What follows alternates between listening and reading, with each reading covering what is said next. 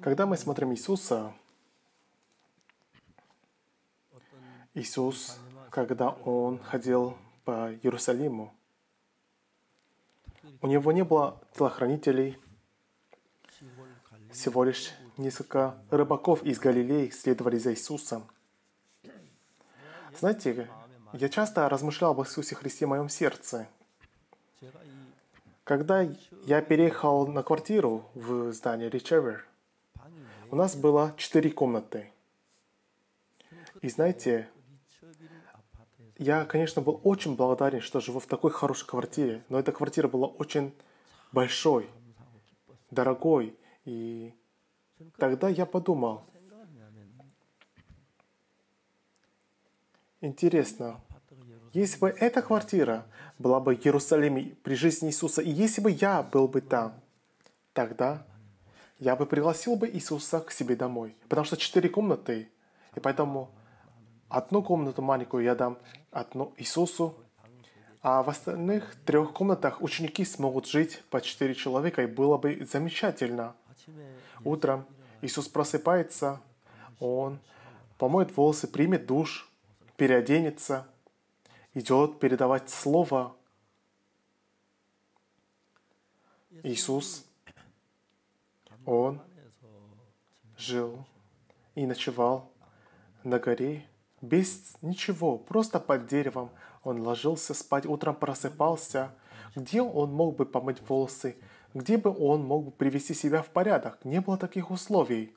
Просто он ночевал на улице под открытым небом, просыпался. Представляете, где Иисус укрывался, когда шел дождь? Я размышлял над этим. Знаете, когда я жил в городе Кимчон, тогда у нас были финансовые трудности. Однако чудом Господь Бог дал нам квартиру, и я много плакал. Знаете, когда Иисус был на земле, Иисус, Он не искал себе дома. Интересно, где ты, Иисус, прятался, под, когда шел дождь? Когда уставший хотел отдохнуть, интересно, где же Иисус отдыхал, где же Он умывался, где же Он мог отдохнуть, размышляя об этом?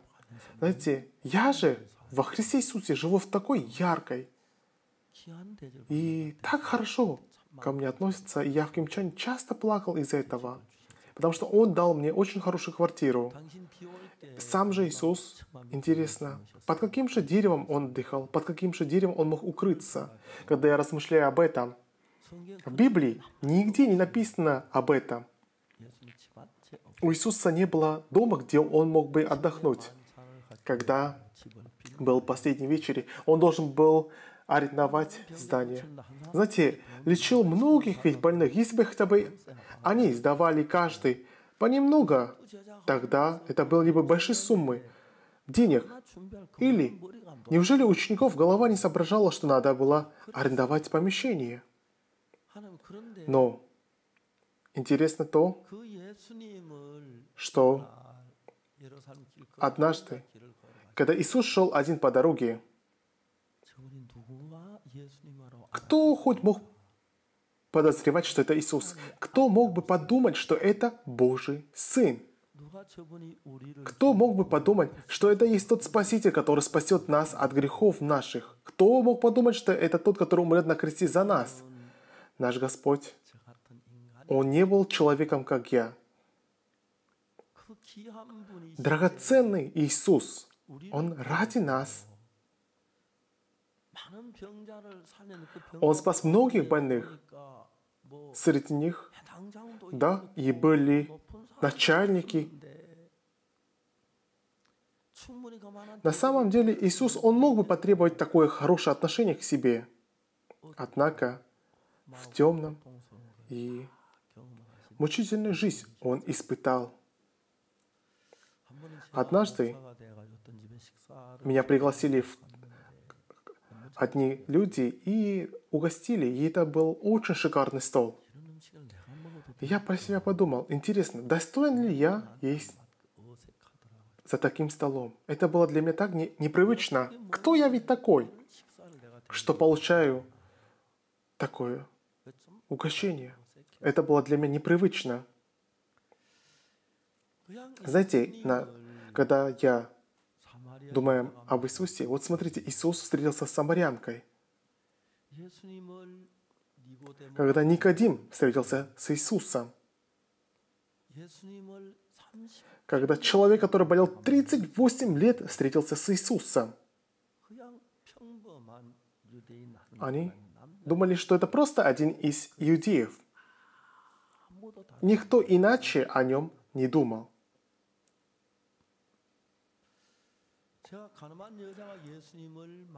Женщина, взятая в прелюбодеянии, встретилась с Иисусом. Она прелюбодействовала, и ее поймали. Почему эта женщина прелюбодействовала? Большинство людей говорят, потому что у нее появились похотливые мысли. Но на самом деле это не так. Знаете, не все люди прелюбодействуют из-за похотливых мыслей. Потому что вы представляете, сколько людей бы тогда прелюбодействовали, если бы они все прелюбодействовали при первом же желании? Почему же она прелюбодействовала? Ответ очень прост. Я 10 лет работал воспитателем в тюрьме города Суона и Теку, и я общался с многими заключенными. И они рассказывают, как они совершили преступление. Я общался с очень многими людьми. Я, конечно, их тоже многому учил, но также я мог услышать от них очень многое. Заключенные, когда оказываются в тюрьме, первое, о чем они думают, они думают, почему же я был арестован? Ага, это потому, что я оставил отпечатки пальца. Это была моя ошибка. В следующий раз же я надену перчатки и буду воровать. Тогда ни в коем случае я не попадусь, думает заключенные.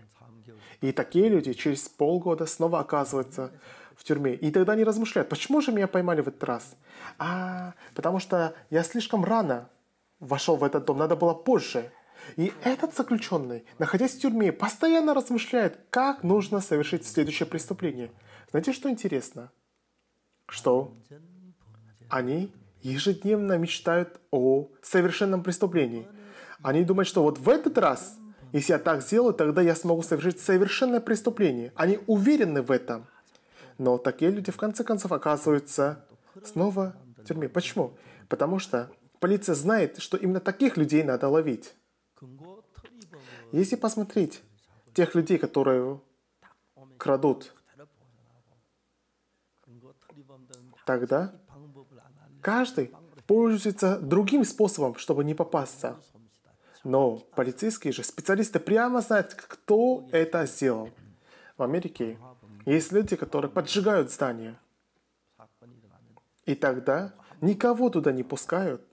И первым заходит агент, ответственный за это дело. Знаете, преступники меняют способ преступления, однако люди так устроены, что есть тот человек, который в детстве просит, ой, пожалуйста, пожалуйста, простите меня. Он же, когда вырастет даже, будет пользоваться этим же способом. А есть те, которые, да, убей, да, убей меня. Что ты поделаешь, да? Такие люди пользуются до конца этим способом. Так вот, оставить свой, свои привычки очень сложно. Поэтому люди так совершают преступления. Тот человек, который прелюбодействует, знаете, почему прелюбодействует? Женщина, взятая в прелюбодеянии, она знает, что ее поймают. Но когда приходит мысль о том, что если я так сделаю, не поймают, тогда появляется вера в себя. И такие люди обязательно попадаются при прелюбодеянии. Другими словами, женщина, взятая в прелюбодеянии, она была взята во время прелюбодеяния. Да, ее вели, чтобы побить камнями, но привели к Иисусу. Книжные фарисей. Они сказали, «Учитель, эта женщина взята в прелюбодеянии. Моисей в законе заповедал таких побивать камнями. Ты что скажешь?»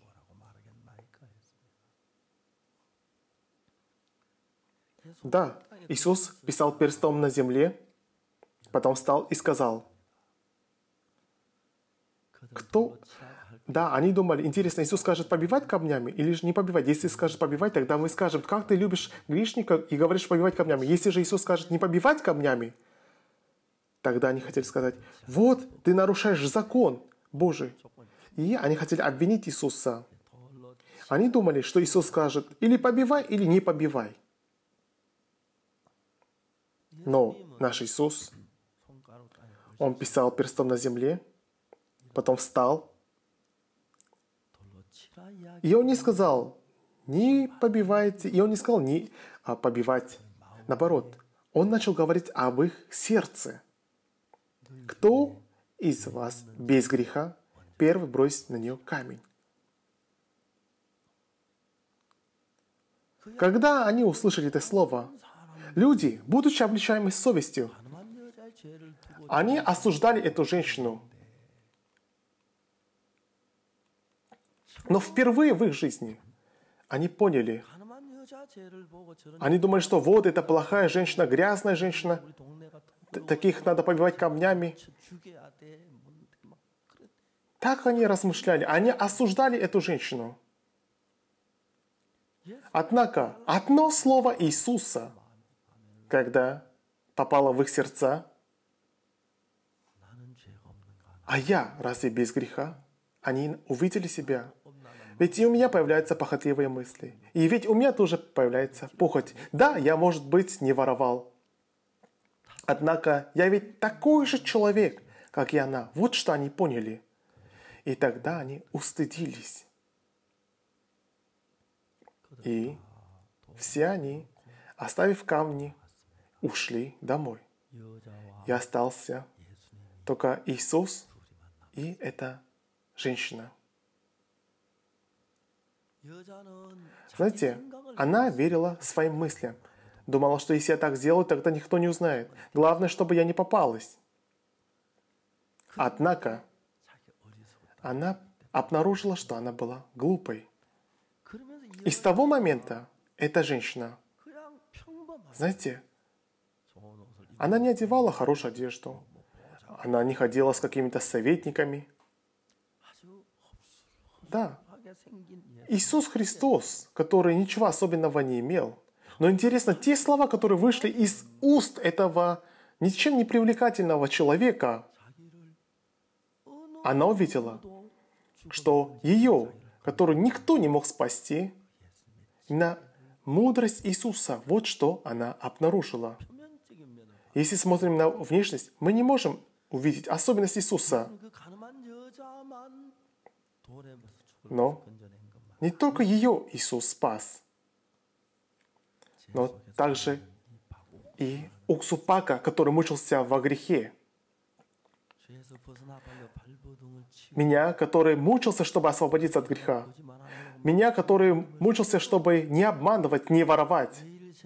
Но который не смог освободиться, поэтому каждый день просил Господа Бога, чтобы Бог простил мой грех. Я говорил, Господь Бог, пожалуйста, прости мой грех. И из такой жизни моей Он освободил меня оттуда и сделал меня чистым, очистил мой грех, сделал меня святым и оправдал меня. Когда я встретился с Иисусом, и чем я больше беседую с Иисусом, Он показывает, что внешне, да, вроде бы Иисуса ничего хорошего нет, ничего привлекательного, да, знаете, он не ходил в золотых цепях или в каких-то особых красивых одеждах. Нет, он не был таким.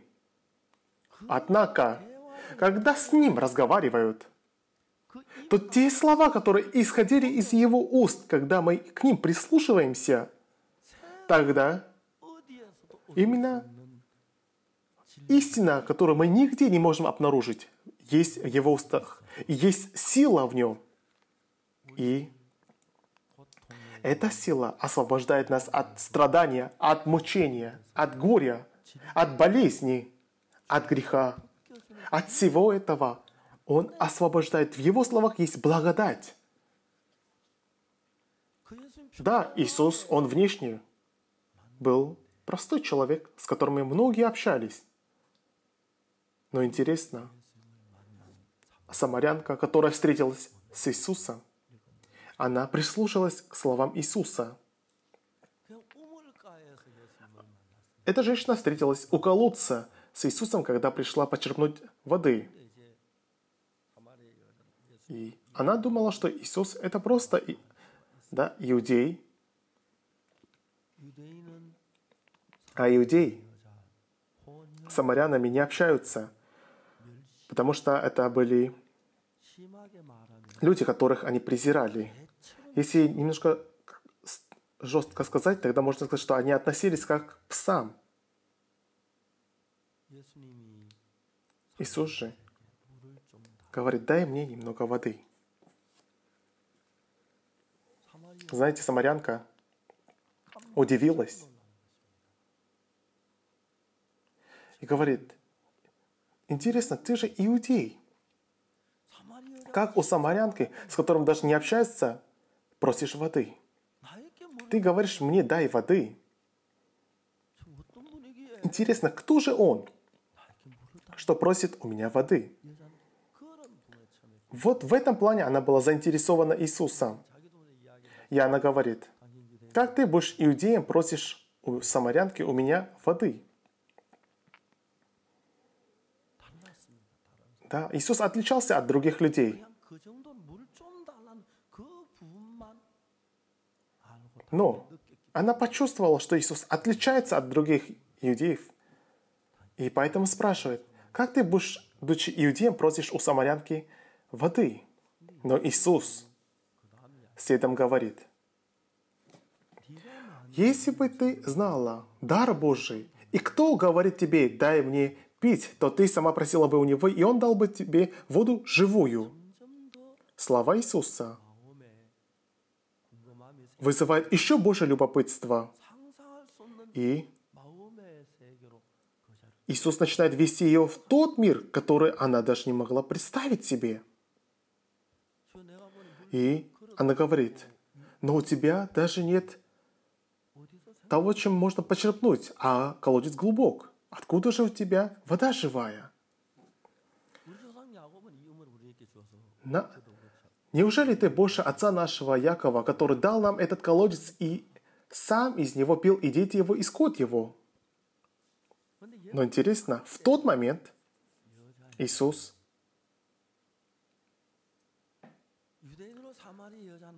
Да. Удивительно то, что иудей просит у самарянки воды. Но что Иисус говорит? И слова Иисуса, которые сказал Иисус, удивили ее. Иисус сказал ей, «Всякий, пьющий воду сил, вождяждет опять. А пьющий воду, которую я дам ему, не вожаждет вовек. По вода, которую я дам ему, сделается в нем источником воды живой». Она смотрела на Иисуса – и думала, интересно, да, может она думает, что Иисус издевается над нею? Но это ведь не так. Иисус говорит, всякий пьющий воду сию вожаждет опять. А пьющий воду, которую я дам ему, Иисус говорит, не вожаждет вовек. Ибо в нем сделается источником воды живой. Эта женщина,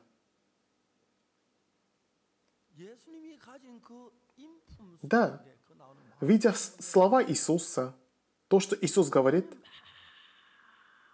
ее сердце следует за словами Иисуса. Всякий пьющий воду сию вожаждет опять, а пьющий воду, которую я дам ему, не вожаждет вовек. Ибо она сделается в нем источником воды живой. Да.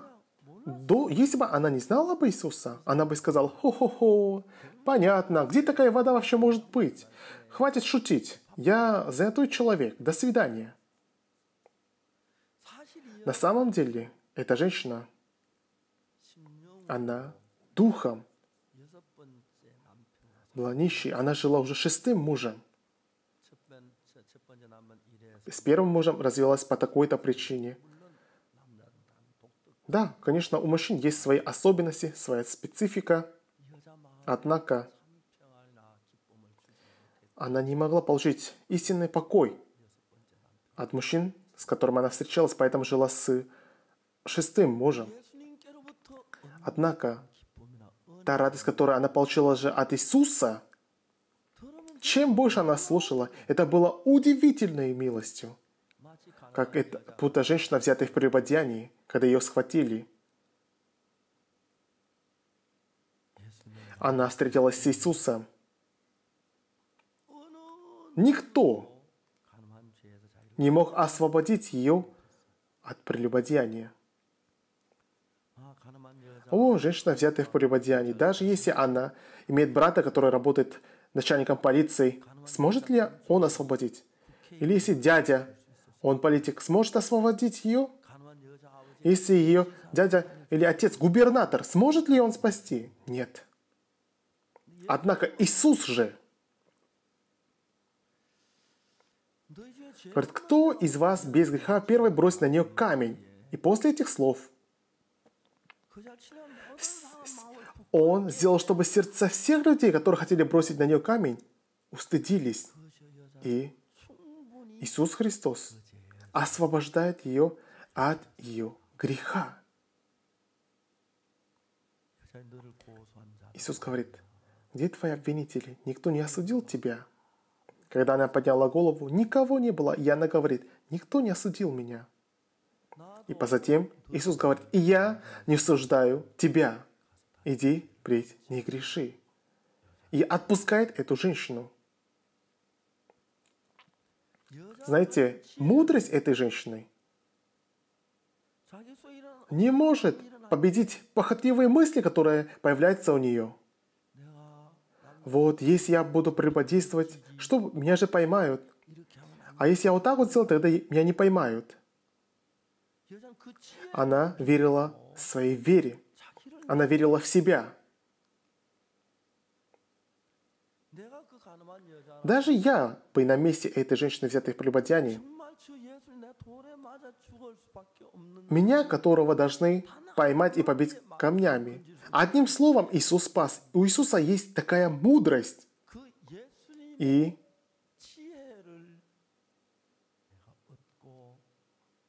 если у меня есть такая мудрость Иисуса Христа, тогда я бы не совершил бы такое преступление и могла бы спасти других людей. И эта женщина, почему она не подумает об этом? Конечно, подумает. Знаете, каждый человек по-своему смотрит на Иисуса Христа. Когда мы смотрим просто внешне, да, просто один из иудеев. Однако, когда мы встречаем его сердце, когда мы размышляем над его сердцем, то это удивительный человек. Когда у меня были трудности и тяжести, моим способом я не могу освободиться от какой-то ситуации или проблемой. Однако Иисус, знаете, так просто освобождает женщину, взятую в прелюбодеянии, от всех камней, которые были направлены в ее сторону. Тогда Он может освободить меня и от этой проблемы. Он может освободить меня от той или иной ситуации. Знаете, я часто проводил семинар в Лепрозории. Однажды на горе Тири, в районе Пексаколь, собрались братья и сестры из Лепрозории, и мы проводили семинар, и меня пригласили главным проповедником, и я говорил там слово – Однажды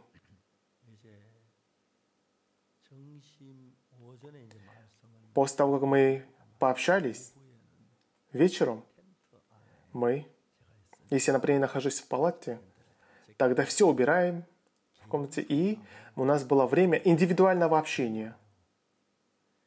И приходил пресвиктор, и диаконы приходили, чтобы пообщаться. Целый день мы общаемся, делимся словом. А когда солнце садится, а, я хотел, знаете, немного отдохнуть. Ну, молодая женщина подошла. Я открыл Библию. Я начал передавать ей Евангелие. И это Евангелие, это Евангелие Господа Бога. Но я же передавал это Евангелие как мое, да, и я так рассказывал ей Евангелие. Я благодарен, что я стал служителем, который передает Евангелие. И когда люди слушают Евангелие и принимают Евангелие, когда они в своем сердце встречаются с Иисусом, и когда они хотя бы раз попробовали сердце Иисуса, то такие люди, они не поменяют Иисуса ни на что из этого мира. Эта молодая женщина, она рассказала очень печальную историю свою. Когда она училась в седьмом классе, умерла мама,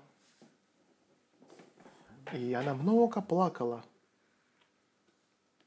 Затем отец, он женился, и пришла мачеха в дом. Но у мачехи была дочь, которая была ровесницей с нею. Она училась только в седьмом классе, только-только поступила в седьмой класс. Однако, хорошо, если все они вместе будут учиться в школе, но положение их не позволяло всем ходить в школу. И поэтому она одна ходила в школу, но проходит время, и она почувствовала, что?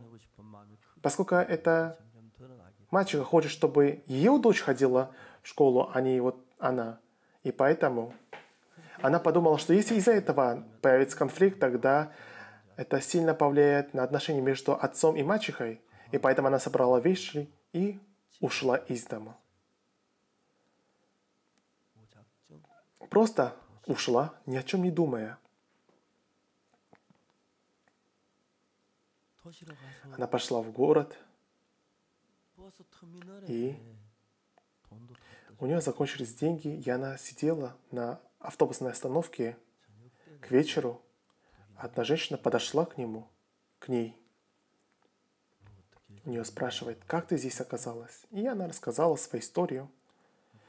И эта женщина говорит, ой, тебе, наверное, так тяжело. И повела ее в ресторан и угостила. Эта девушка была очень благодарна этой женщине. Затем эта женщина продала эту девушку в публичный дом. Знаете, она, когда оказалась в таких условиях, она сдалась. И каждый раз она возмущалась на маму, которая оставила его. Она говорила, почему, мама, ты оставила меня и ушла? Но эта девушка встретилась с одним молодым человеком, который очень любил ее. Каждый раз она ждала его, ждала, когда он придет к ней. И действительно, этот мужчина любил ее, и за это она была благодарна, потому что она не могла представить, что мужчина может любить такую женщину, как она. Однажды этот мужчина пришел к ней и сказал, пойдем со мной. Она спросила, а куда мы идем? Пожалуйста, ни о чем не спрашивай, просто пойдем. И она спросила, куда мы идем? Тогда он сказал, если ты не доверяешь мне, можешь не идти за мной. Если же веришь, ни о чем не спрашивай, пойдем просто. Итак, она последовала за ним, Она последовала за ним, и он привел ее к себе домой. И так у них началась новая жизнь. Знаете, она была счастлива. И свекровь и свекор, они заботились всем сердцем о ней. Однако она провела счастливое время в них. Прошел год, два, три года прошло. И родители мужа ждали, когда у нее родится ребенок. Однако она не могла забеременеть. Неизвестно, кто распустил такой слух, но пошел слух о том, что она не может забеременеть из-за прошлого, из-за прошлой ее жизни. И с того момента свекровь и свекр перестали смотреть в ее сторону. Несколько раз она пыталась покончить самоубийством. Представляете, два с половиной года она была так счастлива. Почему же Бог, она думала, не продлил ее жизнь, ее счастье? Что же я такого плохого сделала, что Бог наказывает ее? Знаете, я совсем не знал ее прошлое и просто передавал ей Евангелие. В конце я открыл послание к евреям, 10 главу, где написано «И грехов их, и беззаконий их не воспомину более». А где прощение грехов, там не нужно приношение за них. Я прочитал вот это слово. Но знаете, она услышала грехов их и беззакония их не воспомину более. И эти слова стали для нее как взрывом бомбы. Она подумала, да, и услышав эти слова, она упала, и вдруг начала горько-горько плакать. Я только что передала слово, и я подумал, я же ее даже не ударил, что же с ней случилось? Почему же она так сильно плачет? Она очень сильно плакала. Я вышел немножко из комнаты, и прошло много времени. Потом я заш... посмотрел, но она продолжала плакать. Может, 20 минут прошло. Я снова зашел. Я сказал, успокойтесь, пожалуйста. Я спросил, что случилось, что вы так горько плакали? И тогда она рассказала вот свою историю – эта женщина, если может забыть прошлое свое, она говорит, что хотела потерять память даже. Или пойти остров, где никого нет, и хотела жить одна. Но Иисус, Он сказал, и грехов их, и беззакония их не воспомину более. А где прощение грехов? Там не нужно приношения за них.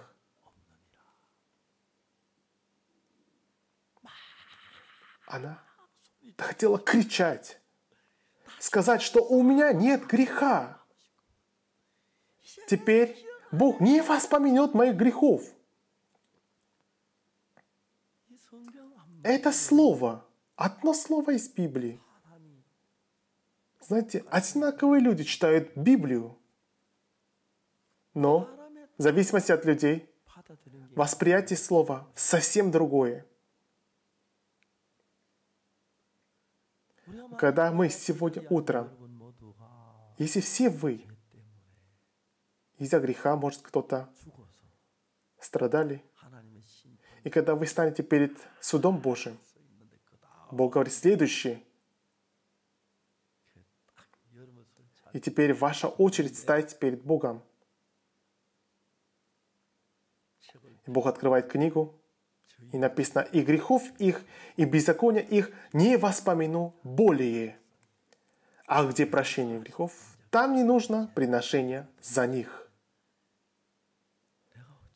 Представляете, я находился в трепете, думая, что я погибну. И когда я услышал такой привал Господа Бога, что я скажу? Господи, спасибо! На самом деле, наше сердце находится в событиях, которые происходят в маленькой планете, которая называется Земля. И мы находимся в этой Земле, в мыслях. И слишком глубоко мы погрузились в этот мир. И когда Слово Господа Бога не может укрепиться глубоко в нашем сердце, однако, если в моем сердце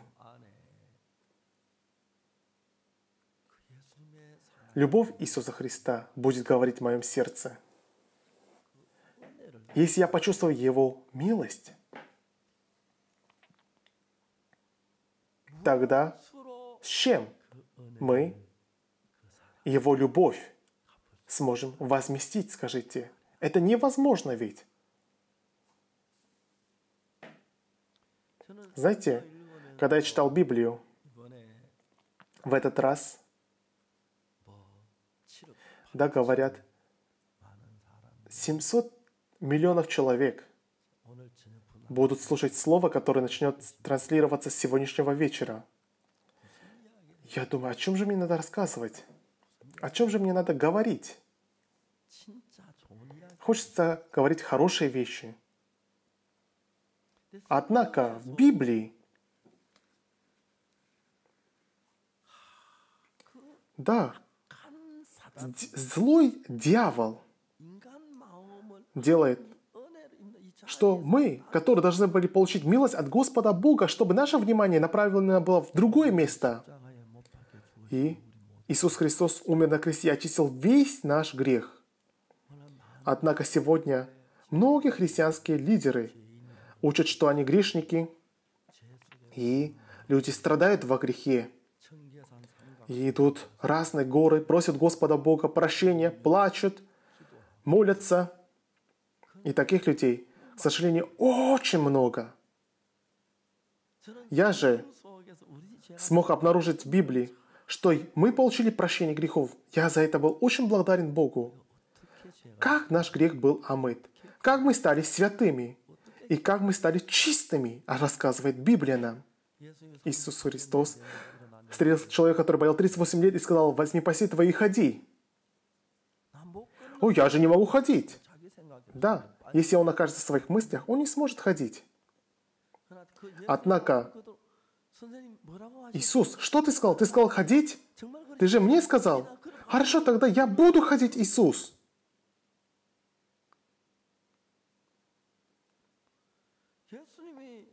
Наш Иисус говорит, я прошу беззакония их и грехов их не воспомяну более. И грехов их и беззакония их не воспомяну более. А где прощение грехов, там не нужно приношения за них. Ничего себе! Это удивительное слово. Но люди не знают такого слова. И поэтому внешне они вроде бы знают Иисуса, но принимают его как одного из иудеев. Как это самарянка, которая подошла к Иисусу с такими мыслями. Однако беседует с Иисусом. И чем больше она беседует, она понимает, что у Иисуса есть те вещи, о которых она не могла представить. Есть благодать Его, милость Его, есть благословение Его. И каждый раз, когда мы узнаем Его милость, Его благодать, мое сердце становится свободным перед Господом Богом, меняется, появляется сила, и благодарная жизнь начинается. Иначе не может быть. Сегодня очень многие люди, они, знаете, страдают из-за греха, мучаются. Есть люди, которые получают спасение и плачут. Женщина, взятая в прелюбодеянии, она думает, ничего себе. Этот человек по имени Иисус, чтобы спасти меня, Он, когда все люди хотели побить камнями, Он сделал, чтобы их камни были брошены на землю. Он сделал, чтобы они почувствовали мучение совести. Почему? У меня не было такого сердца. Почему же у меня было сердце, которое доверяет себе? Поэтому я с похотливыми мыслями, похотливым сердцем, я думала, что, о, если так продолжится, я не попадусь. И я жила по пути гибели. Я тоже хочу принять его как господина моего сердца. Если я буду жить вместе с ним, если я буду идти вместе с ним, тогда любую проблему я смогу решить. Эта самарянка почувствовала это и говорит, Господи, дай мне этой воды, чтобы мне не иметь жажды и не приходить сюда черпать. Тогда Иисус сказал, пойди позови мужа твоего. Тогда она говорит, нет у меня мужа. Иисус говорит ей, правду ты сказала, у тебя было пять мужей, и тот, который ты не имеешь, не муж тебе. Теперь Иисус становится мужем ее души. Поэтому мы все, знаете, неважно, мужчина или женщина это, мы являемся в духовном плане невестами Иисуса. Он лично хотел стать нашими мужами духовными. И поэтому Иисус был распят на кресте и умер за нас. Он не только умер на кресте, но также Он сделал все, что должны были сделать мы. Знаете, Иисус Христос, чтобы мог жить теперь и действовать в наших сердцах, мы должны соединить сердце наше между Иисусом. Если только это произойдет, тогда неважно, какое дело, Иисус может совершить любые дела у нас. И сейчас даже. Кто-то говорит, что придет, придет 700 миллионов, кто-то говорит 708 миллионов, а завтра кто-то говорит, что эти цифры вырастут до 800 миллионов зрителей моих проповедей. Но честно, мне не верится, что это возможно. Но, знаете, мне показывают схему, да, документы, где указаны цифры зрителей тех или иных телерадиокомпаний. Конечно, наверное, не все из них будут смотреть и слушать, однако руководство телерадиокомпаний, они сказали, что сейчас весь мир находится в страхе из-за пандемии коронавируса, и поэтому им нужно транслировать слово, которое будет утешать сердца этих людей. И поэтому только одна телекомпания потребовала, чтобы мы заплатили, а остальные телекомпании сказали, что бесплатно будут транслировать мои проповеди.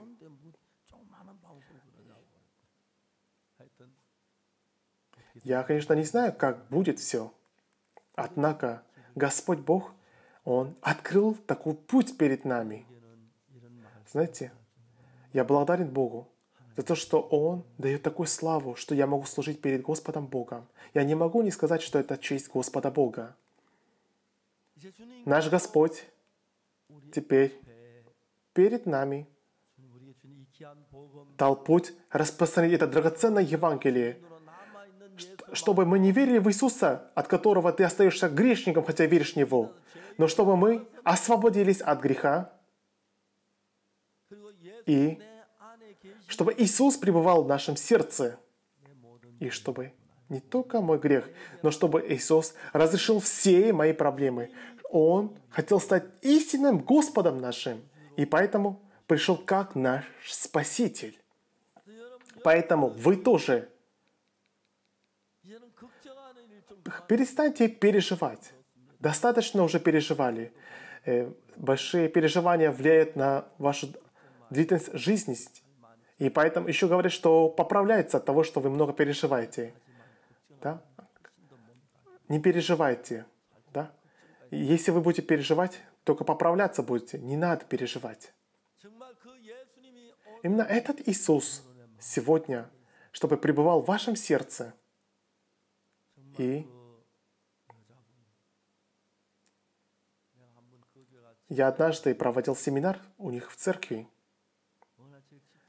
И вечером после слова люди уходили, и чувствую, кто-то меня сзади тянет за одежду. Я посмотрел, и эта женщина пришла и говорит, пастор, сегодня на семинаре участвовал мой муж, и он впервые в церкви, и мне так радостно, говорила она. И мы так познакомились и с ее мужем. И он тоже освободился от греха, получил прощение грехов, и они получили от Господа Бога счастливую и радостную жизнь. Я верю в это. Мы, если покупаем хорошую квартиру, когда покупаем хорошую машину, или... Да, есть плюсы, есть хорошие друзья. Да, мы думаем, что тогда будет все хорошо. Однако, если сегодня утром в ваших сердцах,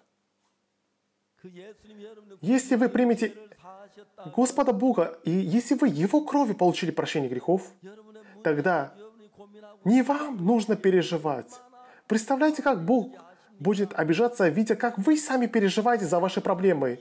Я же тебя спас, почему ты переживаешь? Попробуй мне поручить. Да, каждый раз, когда у вас есть переживание, я желаю, чтобы вы вспомнили эти слова. Почему ты переживаешь? Я ведь хочу вместо тебя трудиться. Неужели ты можешь сделать лучше, чем я? Я ведь пришел к Господом твоим, Господином твоим. Прошу тебя, не переживай. Верь мне, я разрешу твою проблему. А ты занимайся делами Евангелия. Славь Господа Бога. Тогда я все совершу вместо тебя. Пастор Супак в 62 году получил спасение, поверив в Господа Бога. Тогда мне было всего лишь 19 лет. Тогда среди всех 19-летних юнош Кореи, я думаю, я был самым худшим, или, может быть, третий с конца. Но один Иисус пришел в мое сердце, и Он стал господином в моем сердце. Женщина, взятая в прелюбодеянии, Иисус спас. Он поднял человека, который болел 38 лет. Он когда не хватало в Кане в галилейском вина, он решил эту проблему. Он спас дочь Яира. И этой же силой наш Господь и сейчас Он пребывает в нас. И Его мудрости, Его силе, Его любовь находится в Иисусе Христе и передается нам. Вам не нужно быть мудрыми. Вам не нужно быть святыми. Пусть святость Иисуса станет вашей святостью.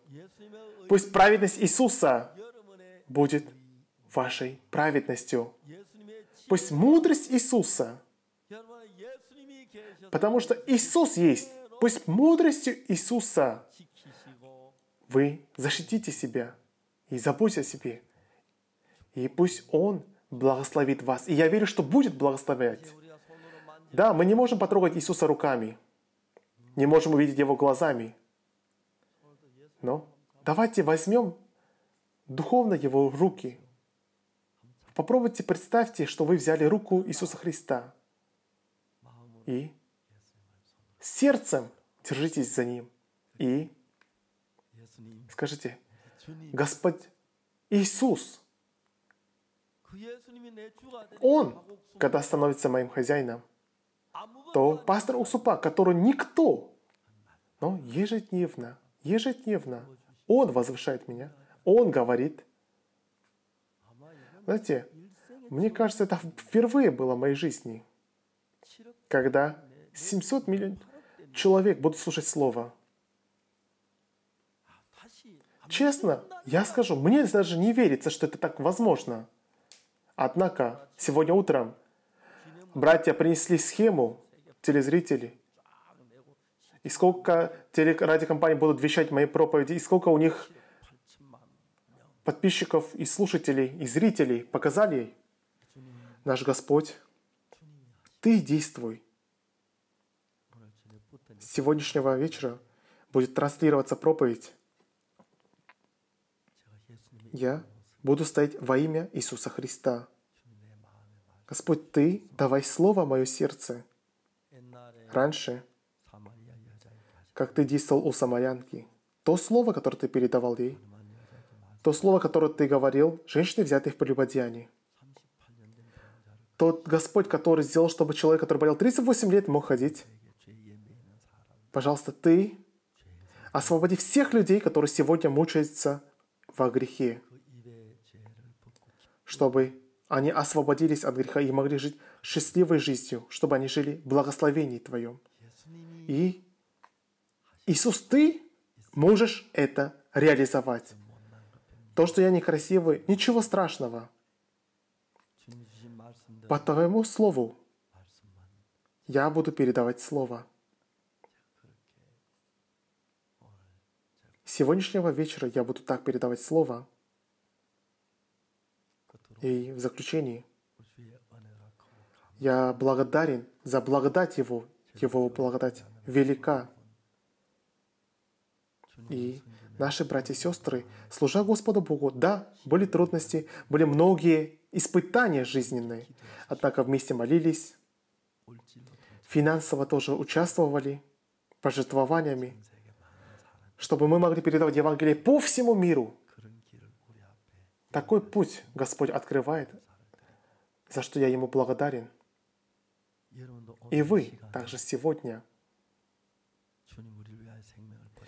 пожалуйста, помните Господа Бога, который отдал свою жизнь ради нас, поэтому вы тоже отдайте свою жизнь Ему, чтобы вы жили по Его руководству, чтобы вы не жили своим сердцем, чтобы вы жили ради Евангелия, и чтобы Иисус также мог освободить людей, которые находятся во грехе. Я желаю, чтобы вы получили такое благословение. Я уже в возрасте. И честно, мне не верится, что это возможно. Мне кажется, что как будто пастор Ким Деонг дал свой возраст мне. Вроде бы мы с пастором Ли Мичулем одного возраста, но я намного стал старше них.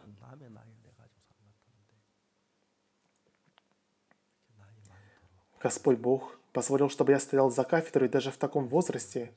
Иисус возлюбил меня. И то, что Он открывает путь передо мной, я благодарен Господу Богу за это.